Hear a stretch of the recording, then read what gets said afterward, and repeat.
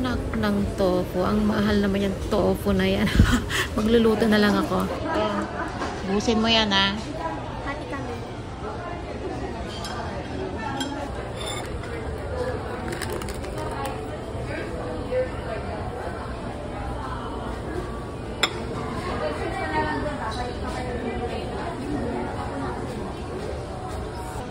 Takaw mo, Kate. Grabe ka. Ah, ayaw ka mag-rice.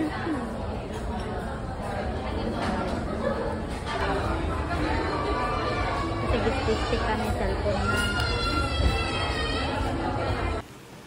Feeding time. O, diba? Ang sexy ng lola mo. Chareng. Barbie again, again and again. Kaya lang ubus na. Pang kami lang ba-ba na. No, tapay maba-ba na. Eto na lang panty. Walang gustong magpanty. Ang mahal kasi 995. May isa lang ang panty ko. Kinanan ba mo? Nagagpampanten. Ado magatang ng soy and the giant be. Ate medium. Ano yung gumatang ka ti panty? Ano may hama nga makita.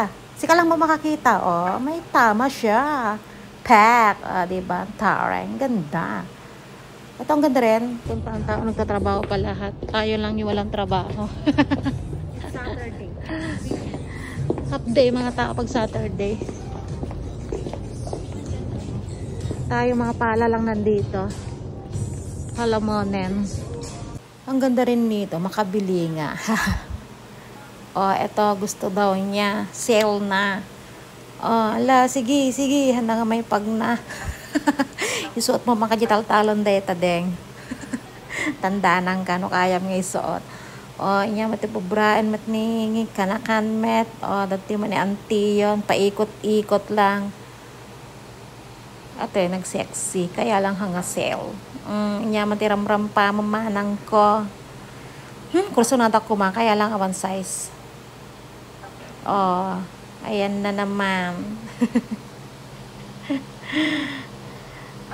Ate mo, anak ko mat. Shopaholic mat. Nagmana mat kanya kon.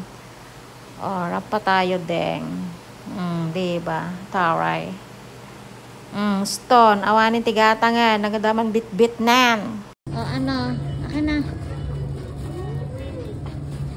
Okay na ka? Yes. Dami niya nga shopping, oh. Gra ah, baba mo.